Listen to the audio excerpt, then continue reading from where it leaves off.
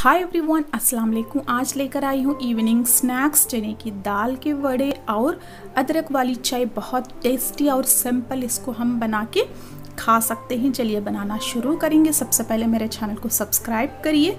अब हम recipe start करते हैं। उसके लिए मैंने 250 ग्राम चने की दाल को लिया है। इसको तीन घंटे के लिए भिगो लिया है। दाल अच्छे से भिगोना बहुत ज़रूरी है। जब भी हमारे बड़े बहुत अच्छे बनेंगे। इसको मिक्सी जार में डालेंगे। आधा टीस्पून जीरा टेस्ट के हिसाब से नमक ऐड करें। तीन हरी मिर्च और एक इंच अदरक के टुकड़े को भी छोटे छोटे पीसेस में कट करके डाल देंगे। इसको हम कोर्सली ग्राइंड करेंगे। ज़्यादा फाइन पेस्ट मत बनाइए। कोर्सली इसको ग्राइंड करेंगे। थोड़े से दाल भी रुक गए हैं। देखिए, इस तरीके से हमारा बैटर होना ज़रूरी है। इसको हम एक बाउल में डालते हैं। फाइनली चॉप्ड हरा धनिया डालेंगे। एक कप के करीब अनियंस भी डाल लेते हैं। मैंने इस तरीके से फाइन चॉप किया है अनियंस को। अनियंस ज़्यादा डालने से बड़े अच्छे बनते हैं। इन सभी चीज़ों को हम मिक्स कर लेंगे। नमक आपको कम लग रहा है तो यहीं पर ऐड कर सकते हैं।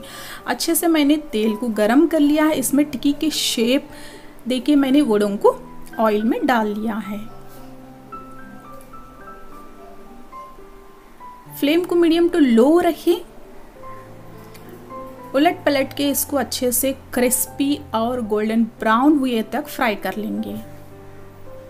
मीडियम टू लो फ्लेम पे इस प्रोसेस को करिए। आपके वड़े भी बहुत क्रिस्पी बनेंगे। मैंने बैचेस में इसको वड़ों को इस तरीके से फ्राई किया है।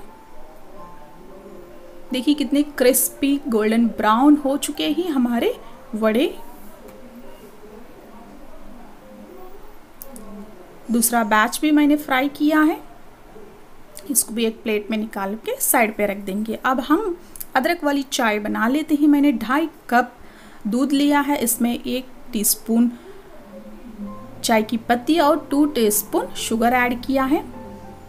मैंने यहाँ पर दो कप चाय बना रही हूँ। इसके लिए ढाई कप दूध लिया है।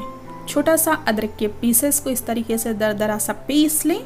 चाय में डाल देंगे, चाय को अच्छी तरीके से पका लेंगे हम। जब तक दो कप ना हो, तब तक इसको पका लें। देखिए, इसके ऊपर मलाई भी आ चुकी है, चाय अच्छे से पक चुकी है, कितना अच्छा रंग भी आ चुका है। इसको हम छान लेंगे। गर्मा गर्म चने की दाल के वड़ों के साथ अदरक वाली चाय को सर्व करिए। बहुत मज़ा आएगा। आप भी इस इवनिंग में ज़रूर ट्राई करिए, आपको बहुत पसंद आने वाला है। वीडियो अच्छा लगा तो लाइक करें शेयर करें सब्सक्राइब करिए, साथ ही बेल आइकन एक्टिवेट करिए। मेरे ऑल वीडियोस आपको देखने को मिले। फिर मिलेंगे, ऐसे रेसिपीज़ से। Thank you for watching